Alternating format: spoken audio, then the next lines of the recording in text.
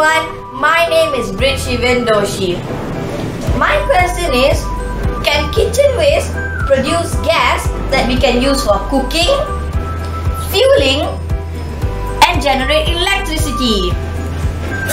As unbelievable as it sounds, kitchen waste actually can produce this useful gas. It is called biogas. Despite doing all this research, I'm still not convinced that garbage can produce such useful gas. So let's test it. To test whether kitchen waste actually produce gas, I have set three bottles here. In bottle A, I have leftover rice and bread. In bottle B, I have fruits and vegetable peels that we have that my mom has blended into a yucky shake to fit inside the bottle. And bottle C is the control which has nothing inside. And to, act to and to test whether the, the kitchen waste actually produces gas, I have put balloons on top to see whether they inflate. And if they inflate, that means the kitchen waste actually has produced gas. So in 3 days, I'll get back to you with the results. 3 days into the future. So on day 1, bottle A and B inflated slightly and bottle C did not inflate. On day 2, bottle A and B balloon inflated a little bit more and bottle C balloon did not inflate at all. Day 3, the balloon on bottle A and B inflated a lot more and bottle C's balloon still did not inflate. By studying the data that I collected, my hypothesis balloons on bottle A and B actually inflated. So therefore, I can safely conclude that kitchen waste actually produces biogas. Now, we can use this renewable energy that will never exhaust. So keep your garbage safe. Bye!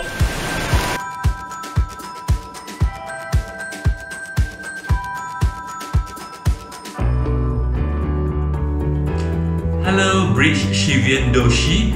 My name is Mr. Un. I'm from Aspiration International Secondary School and I teach physics and chemistry. Thank you for participating in SASA 20. I enjoyed watching your video. It is a very interesting experiment, I must say, on a very interesting topic. Microorganisms decompose organic material or kitchen waste as you call it and produces biogas in the process. Yes, you are right. Biogas is a useful and renewable energy and we have not exploited this renewable energy to its fullest potential. Well done, Bridge. We have a few comments to help you improve in your procedure. You had A. Leftover rice and bread, B. Fruit and vegetables, and C. Your control. Were you testing for the more effective type of kitchen waste? Because you have bottle A and bottle B. I think you just plan to check if kitchen waste does actually produce gas, but you can bring your experiment further to show the viewers which organic material produces more biogas. Also, it would be helpful if the amount of kitchen waste material was the same. We could see the amount of material in B is way more than A.